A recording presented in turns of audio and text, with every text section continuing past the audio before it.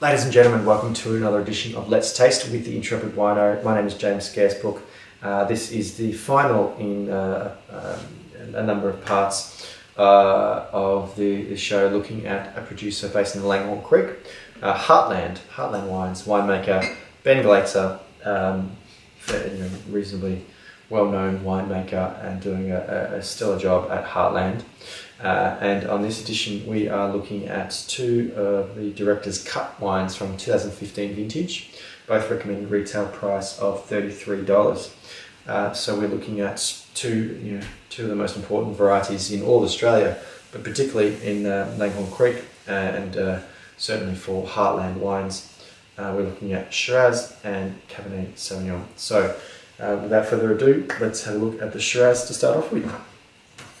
Um, really solid packaging um, compared to some of their other wines. This is a slightly more premium bottle um, with a deeper punch. So we're looking at um, you know something with a, a little bit more uh, prestige, I guess, uh, premium nature. So right, right away I'm noticing that uh, uh, it's relatively dark but also quite intense. Um, I, really I, I can't see the, uh, the, the light through that wine. So, uh, you know, we're talking know, a bit decent amount of ripeness here. Really powerful, bold, um, very very classic, you know, classic warmer climate Australian um, Shiraz here. Dark, dewy, juicy, plummy, caram, quite oaky as well. Um, I'm noticing there's quite a lot of vanilla um, and uh, almost like a camphor wood. It's, yeah, borderline. It's, it's sort of floral, dried, dried flowers. But yeah, it's it, it just the oak is kind of sitting over everything. Let's taste.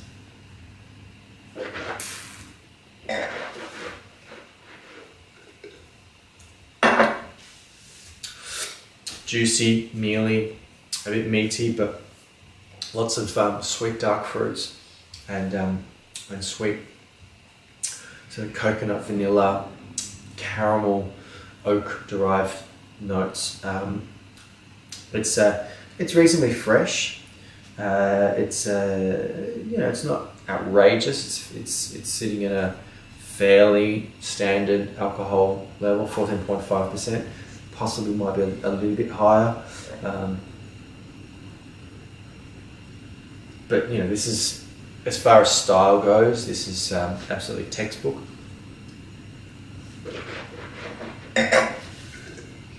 Um, and certainly, if you like that style, um, you're not going to be disappointed with that. Uh, so let's have a look at the Cabernet.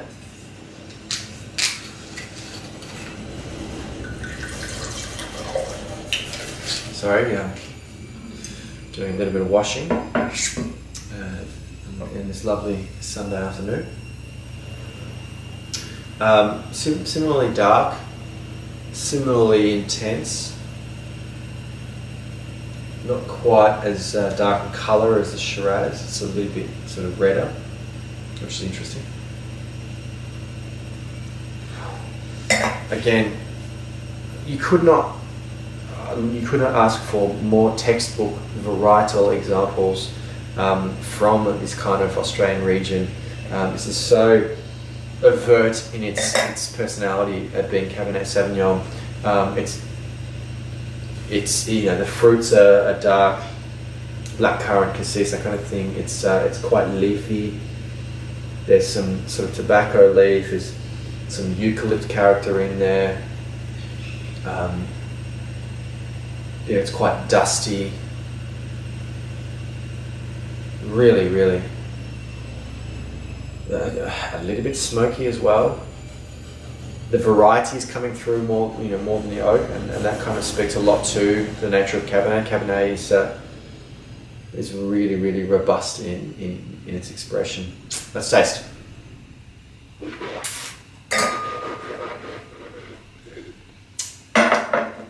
Fairly soft and mellow on the palate, a little bit of tannic grip, um, but I'd say it's been um, tamed a little bit by uh, by time wood.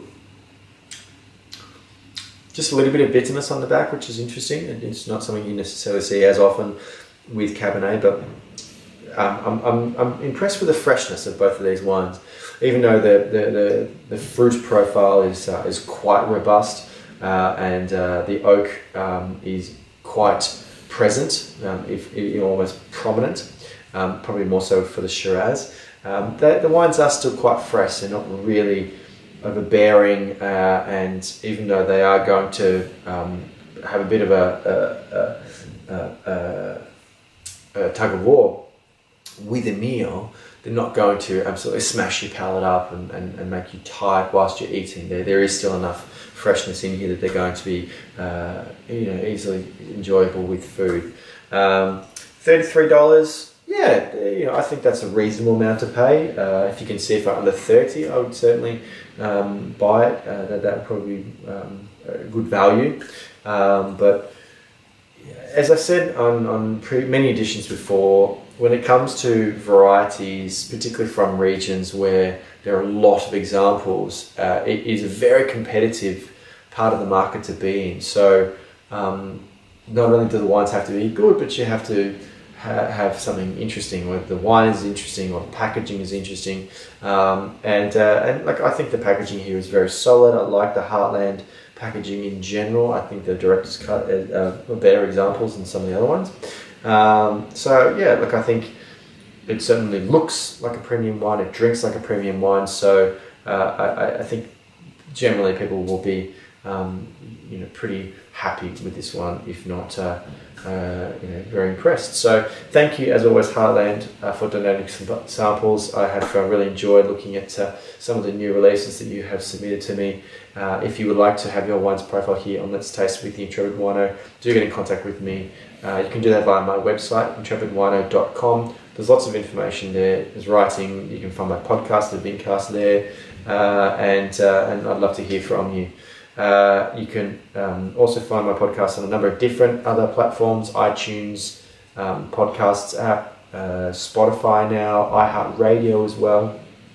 Uh, and, uh, and have a listen to some of the people I've interviewed in the past. Uh, if you're watching this video on the YouTube channel, please hit the subscribe button, uh, like this video, share it on social media, and uh, most important, please leave a comment. I'd love to hear from you. Uh, tell me a story about Heartland or Langhorne Creek or Ben Glaetzer.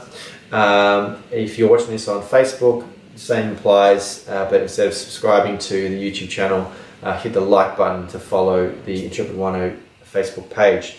Guys, um, as always, I, I, I love sharing my impressions of these wines with you. Thank you so much for watching, but until next time, cheers.